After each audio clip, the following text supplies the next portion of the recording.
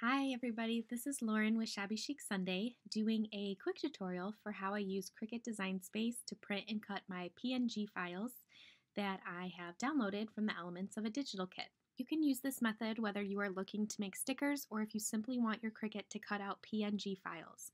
The technique will be the same for both options.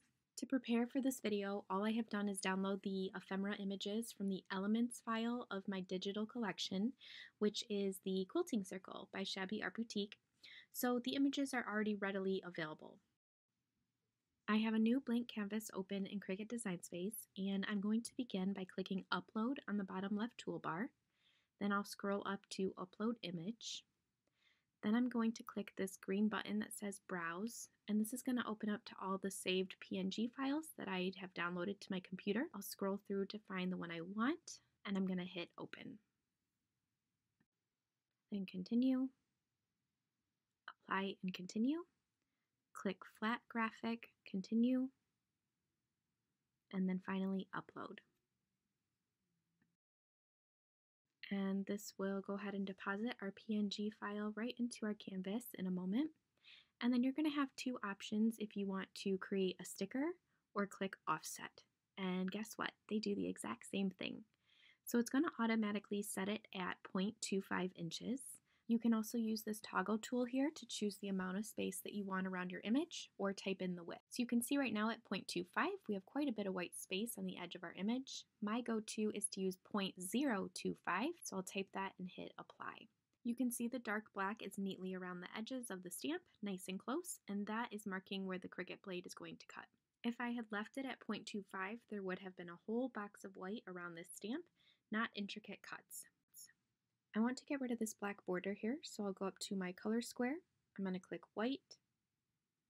I'm going to then highlight my image, and that is the last step before we hit flatten, which is over here in the bottom right corner. Flatten just compresses all the layers together into one printable layer. So it's going to make sure that the machine cuts out only the outer edge that you have selected of the combined image.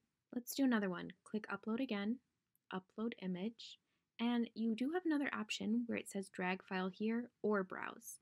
So let's do drag file here. I'm going to go ahead and slide Cricut Design Space over. I'm going to open up where I have my elements saved. And I'm going to scroll down to find, let's do this um, quilt around a child. So I go ahead and download this to my computer. Right now it's just in my Google Drive and I want to download it to my actual computer. Up on the toolbar, you'll see this arrow, and it's going to tell me that my image has been downloaded. You don't even need to open it up. You can just click right on here, grab it, and drag it to this box. So I'll slide this over so it can be our main screen again, and then I'm going to click Continue, Apply and Continue, Flat Graphic, Continue, and then over on the left side, you do have the option if you want to name your image or even leave tags. Um, if you have multiple images from the same kit, you can even make a collection for it, but I usually just leave it the way it is and click upload.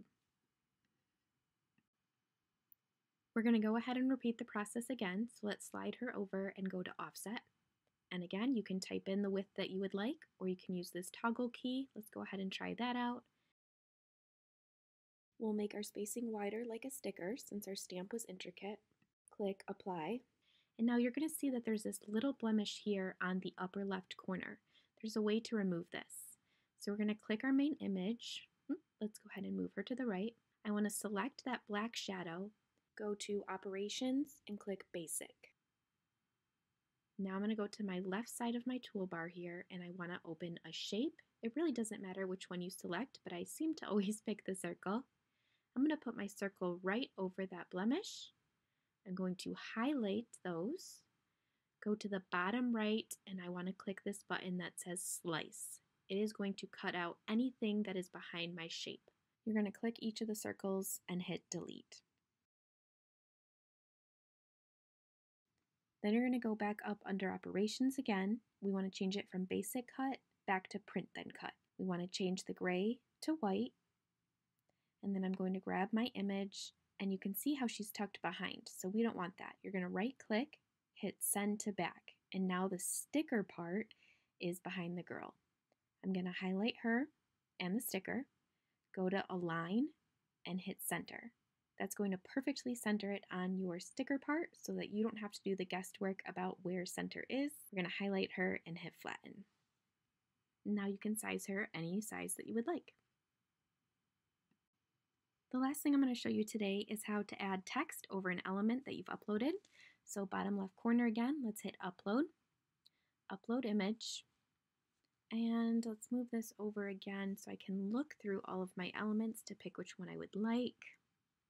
I'm going to go with this embroidery hoop, so I want to download it to my computer. Again, this is just in my Google Drive right now.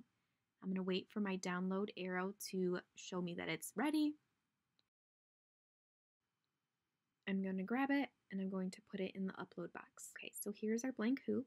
I'm going to hit continue and go through all these silly steps again. Flat graphic, continue. Again, you can name it if you would like, and then hit upload. So now I have my third image on my canvas. And let's move this over here. We're going to follow the exact same steps that we just did. So let's hit offset. I'm going to do my go-to, which is 0.025. That's what I always like to use. I want to change from black to white so that there's no border that is printed out around my image. And I'm going to highlight it and click flatten in the bottom right corner. Okay, so now to add the text, go to your far left side on the toolbar and hit text. And uh, Cricut Sans is what it is right now. I want to go ahead and change that. So on the top of your toolbar, you'll see text. I'm going to go to bookmarks because this is where I have all my favorite fonts saved. And let's pick this one. I'll link a video in the description box for how to download free fonts. I'm going to double click the text so that I'm able to highlight it and alter it to type the text that I want. And we're going to type friends. And I'm going to grab it and I'm going to put it right over the center of my image.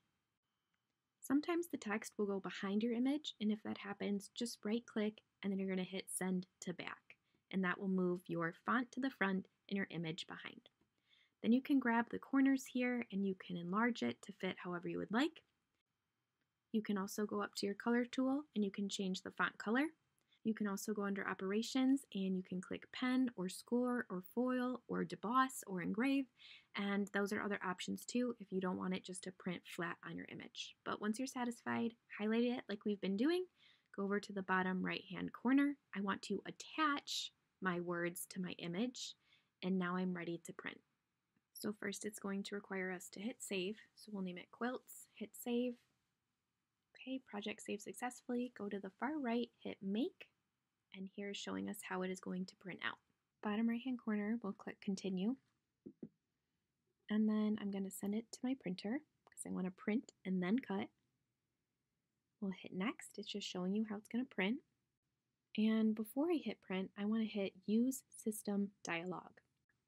This allows us to determine our print quality. Now the screen usually pops up behind our Cricut Design space, and there it is. And I want to scroll down until I see printer options, and then I want to hit print settings. I want to make sure I have the right paper setting, and then change my print quality to quality. Hit OK, and now I'm ready to hit the print button but I'm actually going to click cancel because I am not ready to print yet. I just made this for the sake of the video. So I hope that that was helpful. If you have any questions at all, please let me know. Take care.